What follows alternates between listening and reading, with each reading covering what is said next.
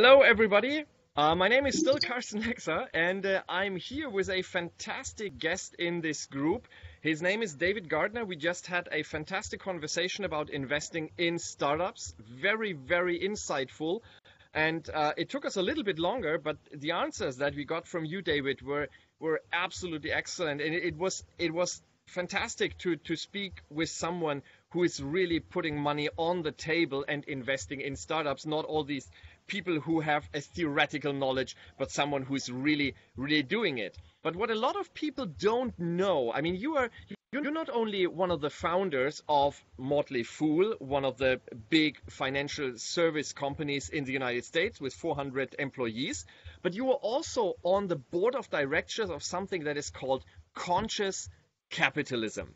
And now, conscious capitalism, I, I, I think a lot of people don't know what it is. Can you elaborate a little bit on that? Can you tell us a little bit more what conscious capitalism is and why are you on the board? Why is it important to you?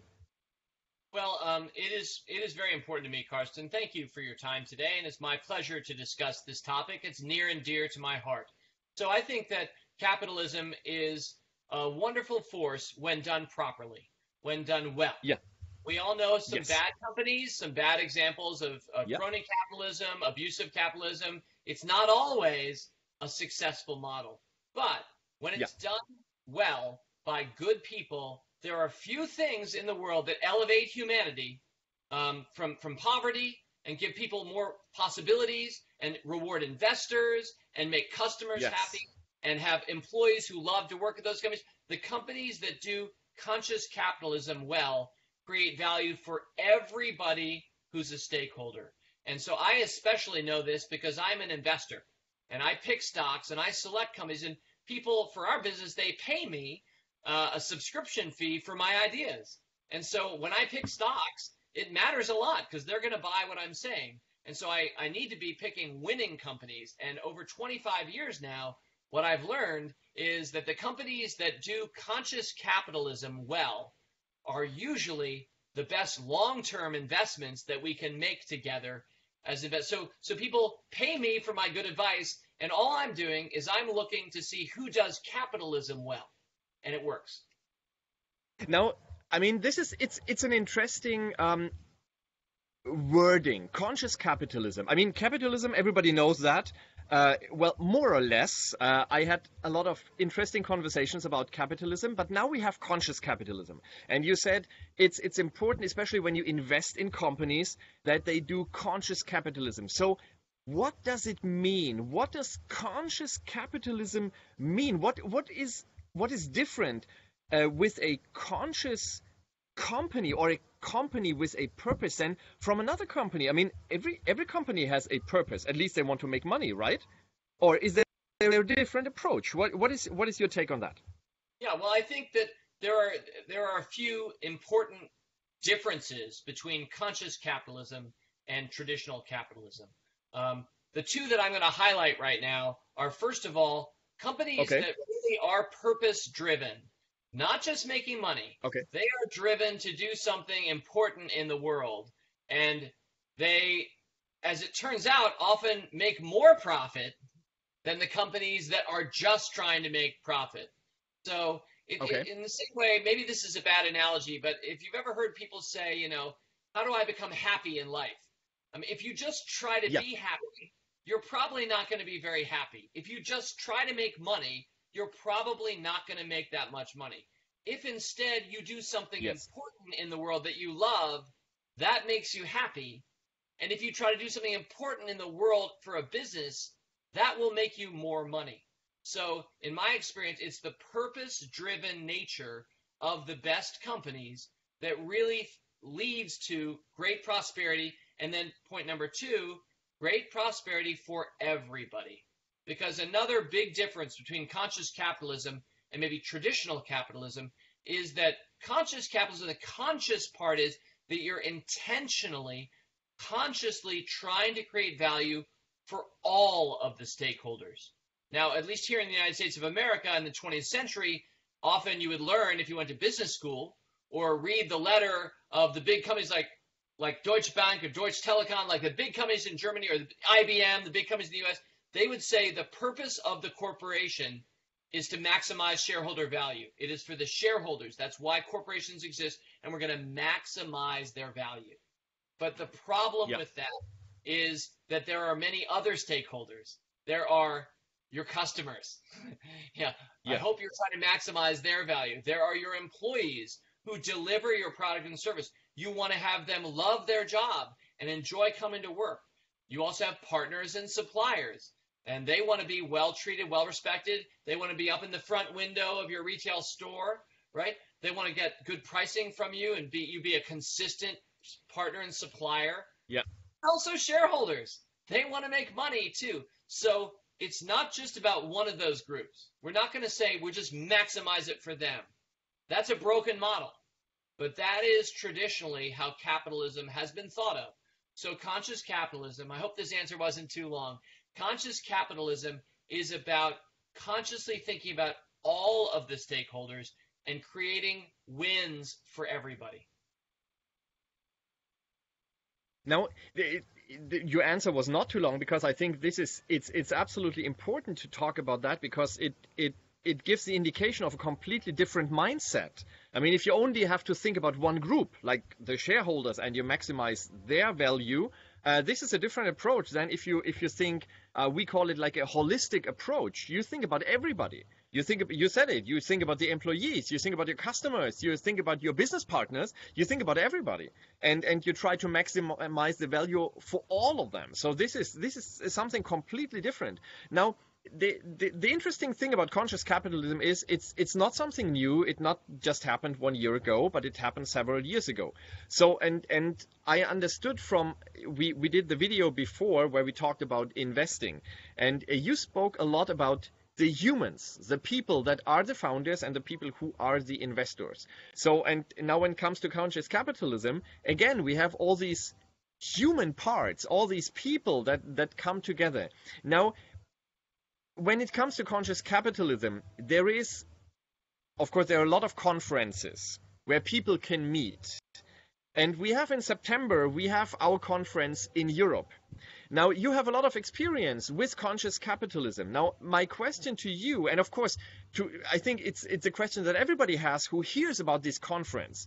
Um, why should someone go to one of these conferences? I, I remember I met Raj, Raj, Ray, Ray. Uh, I met him in Mexico. Rush, yes, uh, yeah. Sorry for, for pronouncing his name uh, incorrectly. Um, I I met him in Monterrey, and I was fascinated about what he what he had to say. But now I heard him. A lot of people have not heard him. Why should they go to one of these conferences? What what will they experience? Well, at least for me, I first went to a conference in the United States for conscious capitalism 10 years ago. And my eyes opened those three days in Austin, Texas. What I realized was a lot of my intuition um, that I had felt about how business should be done well or which companies I recommend, it became, rather than just intuition, it became intention, right? So your Okay. intuition starts to become more intentional and you start to realize how to do your business better, or for me, how to pick better stocks. The people that I Yep. met at that conference are some of the best people in the world, not just in business, some of the best, most valuable people in the world. And for Yep. me, over now 10 years, I've gone every year since, just about.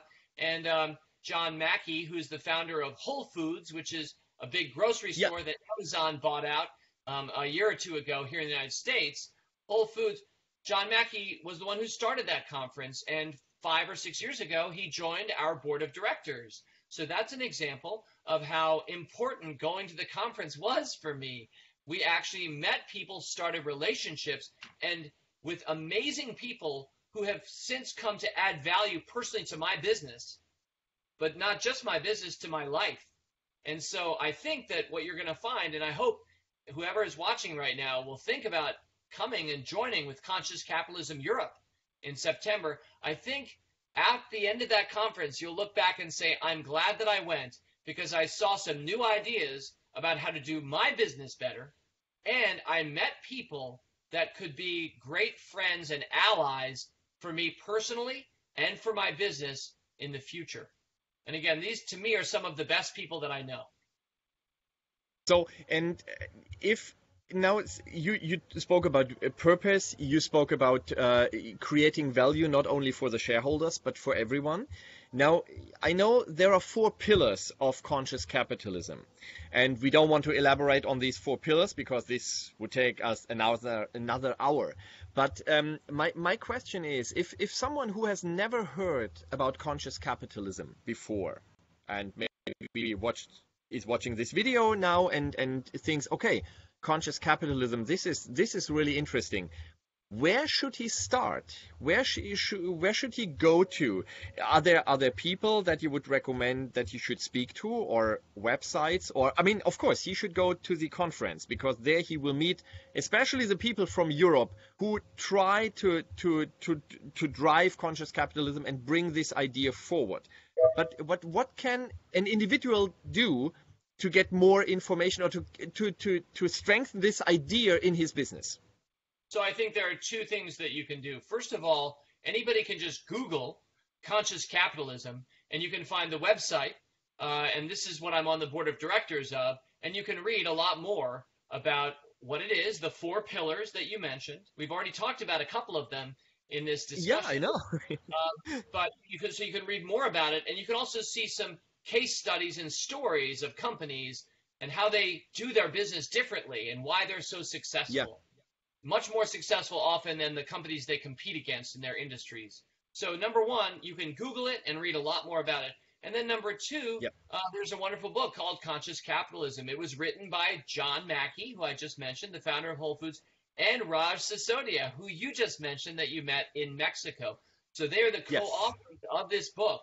And so anybody who wants to read more can understand it. But if you if you're too lazy to read a book, or you are uh, it's it's it's uh, you, you don't have internet connection and you can't Google, then you definitely should just come to the conference because you will have. Especially what I love about the conferences is you get to meet other entrepreneurs who present what they do and how they do and what they've learned. Yeah.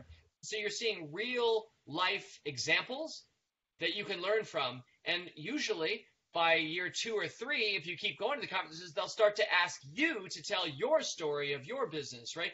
So it's really entrepreneurs sharing with each other, and it's very powerful. And I think a conference is always a, a, good place because the people who go to the conference are interested, of course, in the topic of the conference. And when the topic is conscious capitalism, then of course they are interested. Maybe they don't know exactly what to expect, but they will find all the answers there. And you have someone that you can talk to about this this topic.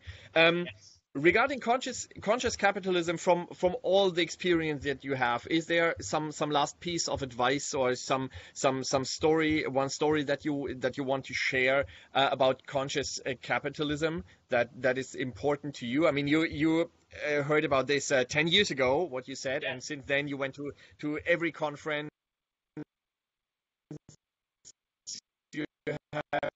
Oh, is there is there something something that you can share at the end of this this video for for our viewers?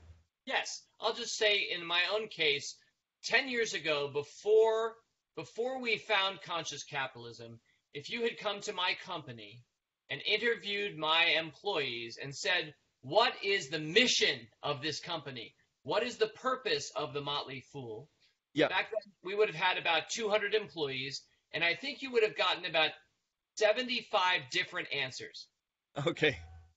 We went to the conference and we started thinking about the importance of purpose and aligning an entire organization, not just your employees, all of your stakeholders around a purpose statement.